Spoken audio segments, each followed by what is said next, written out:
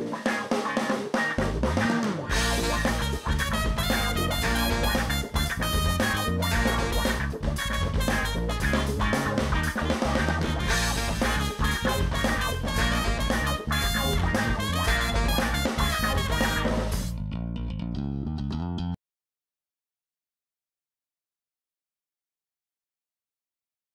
It's Telethon 2.0. It's being broadcast on the web, and the whole point of it is for us to raise money locally for uh, charitable organizations in the Portland area. And then also, uh, we're licensing all of our content through Creative Commons so that other people who want to maybe use some of our material to help fundraise in their communities can do the same thing.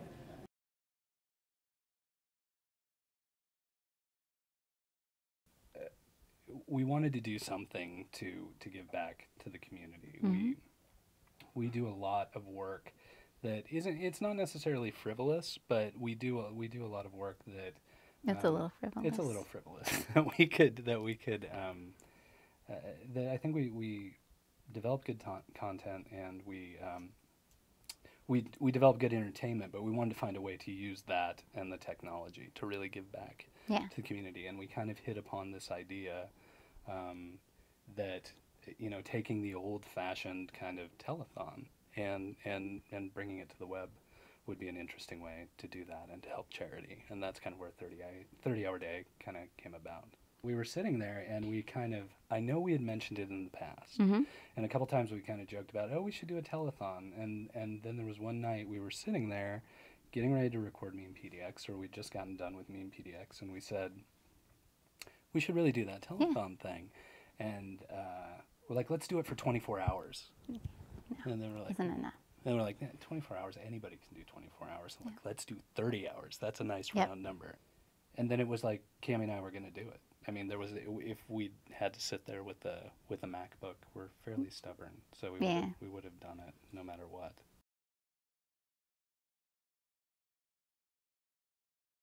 It was six weeks from when Rick and I started planning it, and we really needed Dr. Normal to kind of be on board with it. Mm-hmm. And um, let's just say that he didn't immediately share our vision because he He thinks didn't we're. quite embrace the idea Yeah. right out of the gates. It He- kind of took him a couple weeks to come around. So, so it was after Thanksgiving when Dr. Normal finally said, "Okay, fine, this Uh-huh. is what we need to do to make it work." Yeah. So that's really when like all of the technical planning started. The rest of it was just Rick and I talking. yeah. And luckily, you had a space that we could use, so that wasn't Well, an issue. Guys, And yeah, the Pie Guys were very willing to, to take part in this. I think that is one of the things that was will- huge. that, will, that was absolutely yeah, huge. Will always stick with me is we. I think Cami and I kept talking to people about it, hoping somebody would go. That's the dumbest idea I've ever heard. Yeah. You guys should not do that. Stop doing that. And everybody we would talk to would be like, "That is a great idea."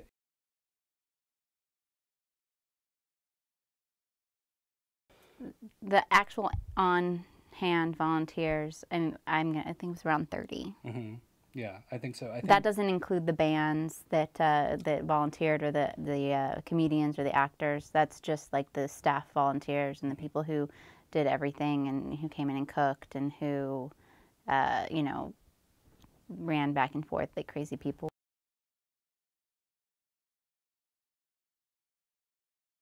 We raised seven thousand dollars for three different charities. So um, Plus toys and food.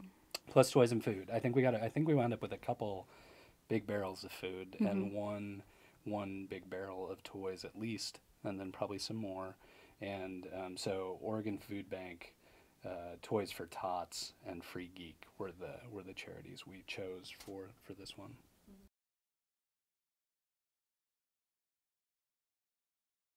I know Drew Olanoff did a um, a one for uh, Blame Drew's Cancer that was a 24 hour one, but it was very much a podcast. And I think this is the first time that people have done like a variety show, like traditional Yeah. telethon to, to, to raise money for charity.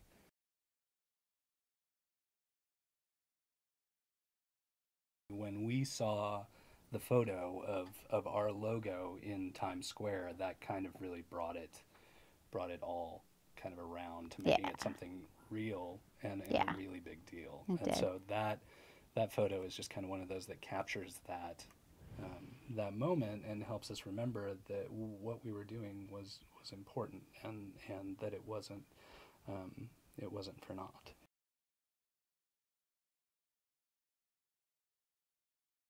Everyone wanted to help and it was so much we thought we were going to do so much of it by ourselves we didn't anticipate Yes. having maybe, maybe that's part of the reason we had a hard time letting go is we just didn't think anyone else would want to do it One, one of the greatest challenges was lack of experience. Yeah. In doing the whole thing. but i think But that kind of made us fearless in Yeah. doing in doing certain. Like I would call up random organizations or random bands and say, you know, do you want to do this? Yes, it's only four weeks away, but can you?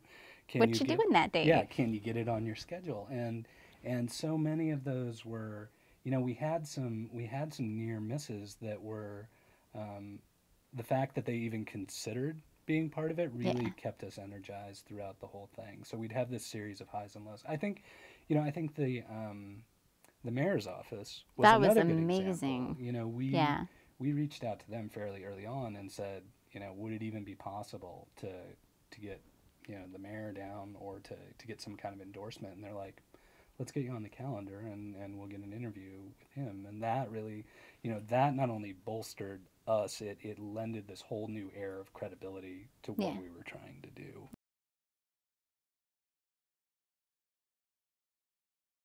i don't think we could do it outside of portland and have the same effect mm-hmm. outside of portland you'd have to i'm not even sure how you would manage to wrangle that the portland Yeah. community is so close Yep.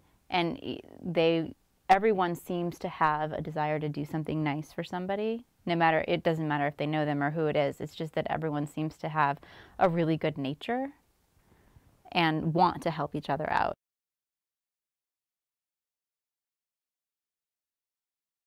It's july 2nd and 3rd Yeah, it's July second and third. We have a, you know, we have kind of our, um, even going into this one, like one of the, even going into the first one, we kind of created this, you know, blue sky dream list of people we'd like to have on the show, or Yeah. who might be potential and that kind of thing. And so that's, I mean, that's really the phase we're in now, um, trying to figure out, you know, what artists or people or interviews would would we be able to maybe get, and and participate in the show.